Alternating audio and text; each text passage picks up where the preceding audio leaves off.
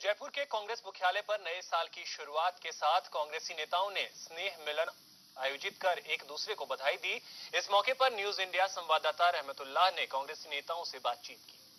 नए साल 2018 की शुरुआत के साथ प्रदेश कांग्रेस मुख्यालय पर कांग्रेस नेताओं ने आपस में सने मिलन कर एक दूसरे को बधाई दी।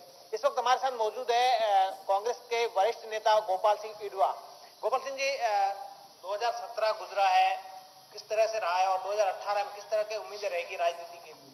तौर पर देखें तो राजनीतिक दृष्टिकोण से आपने देखा कि 2017 में गुजरात से जो मोदी जी और बीजेपी की सरकार का जो पतन की शुरुआत हुई है उसका चरमोत्कर्ष 2018 में आप उस समय देखेंगे जब राजस्थान के चुनाव परिणाम आएँगे। और हमारे साथ और मौजूद है कांग्रेस नेता संगीता गर्ग। संगीता जी अ, ये जानना चाहेंगे 2017 में अगर महिला सशक्तिकरण की बात करें और 2018 में किस तरह से उम्मीदें रहेंगी?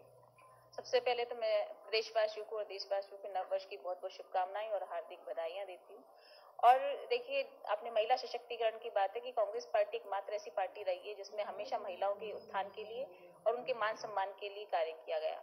मैं स्वर्गीय राजीव गांधी जी की बात करूँ तो उन्होंने पंचायती राज में महिलाओं को चुनाव में चुनाव लड़ने का हक दिया, राजनीतिक भागीदारी दी। और उसी के तहत अब सोनिया जी महिलाओं के लिए लड़ाई लड़ाई लड़ रही हैं और तैतीस प्रतिशत आरक्षण की मांग संसद में कर रही हैं। और उसी के तहत मैं ये कहना चाहूँगी, अगर महिलाओं के लिए मान सम्मान और हक की और अधिकार की लड़ाई कहीं, लड़ाई की कहीं बात आती है तो कांग्रेस पार्टी सर्वप्रथम उसमें आगे बढ़कर कदम उठाती है। लेकिन अभी तक वो संसद में वो बिल पास नहीं हुआ।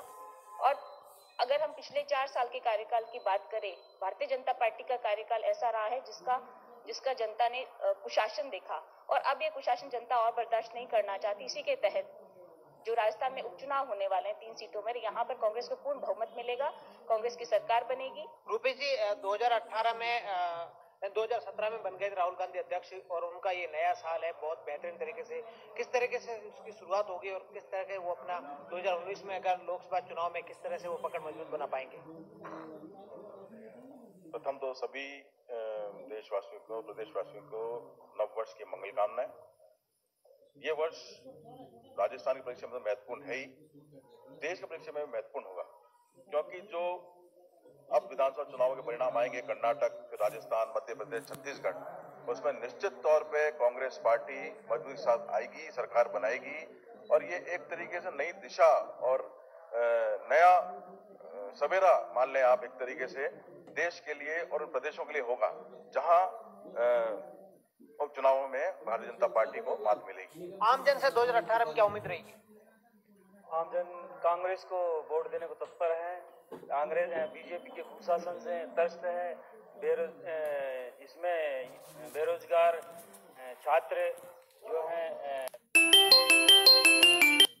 बिल्कुल नाराज़ हैं। यानी 2018 कांग्रेस बहुत ही उम्मीद कर रही है कि 2018 उनके लिए बेहतर रहेगा। 2017 में उतार चढ़ाव ज़रूर आए कैमरा पर्सन दिनेश पारी के साथ रहमतुल्ला खान, न्यूज़ इंडिया, जयपुर। नववर्ष के पहले